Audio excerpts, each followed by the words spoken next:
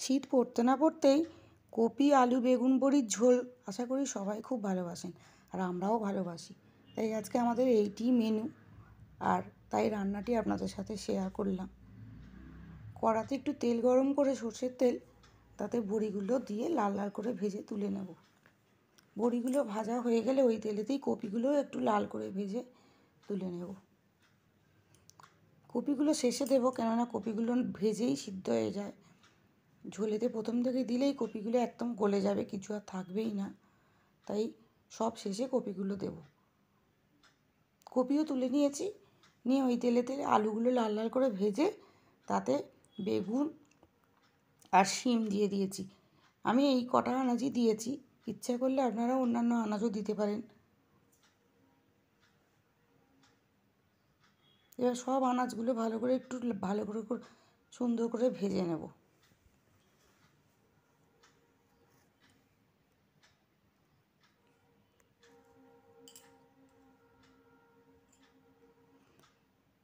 এই ভাজাটা ভালো করে হলে না রান্নার টেস্ট ভালো হয়।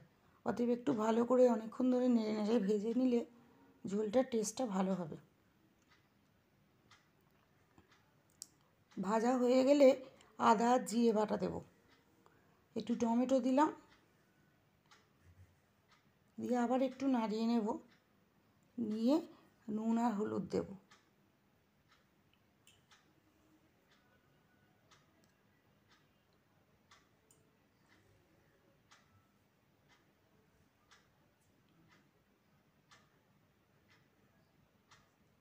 মশলাগুলোও দিয়ে আদা জিরে যেহেতু দিয়েছি, তাই টমেটো নুন, হলুদ যে দিলাম সেগুলো দিয়ে ভালো করে একটু কষিয়ে নেব।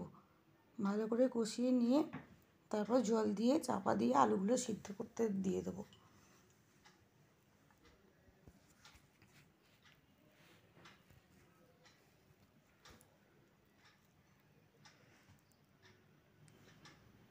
ভালো করে কষানো হয়ে গেছে। এবার আগে থেকে ভাজা ফুলকপি আর বড়িগুলো দিয়ে দিলাম। দিয়ে এগুলো আর একবার ভালো করে নেড়ে নিয়ে তারপর জল দিয়ে সিদ্ধ করতে দিয়ে দেবো।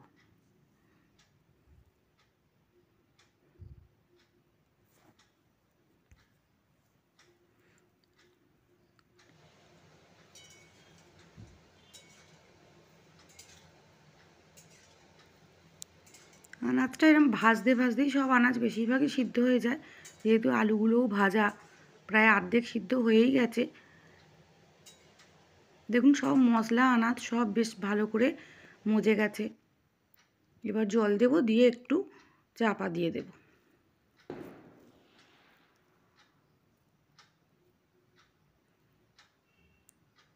চাপা দেবার আগে একটু চিনি দিয়েছি। আপনারা ইচ্ছা করলে চিনি দিতেও পারেন, নাও দিতে পারেন। আর এদিকে অন্য আরেকটি কড়াই একটুখানি তেল আর তেলেতে একটু পাঁচ ফোড়ন আর কাঁচা লঙ্কা ফোড়ন দিয়েছি। ঝোলটা ফুটে উঠলে ভালো করে আলু সিদ্ধ হয়ে গেলে ফোড়নিতে ঝোলটা ঢেলে দেব।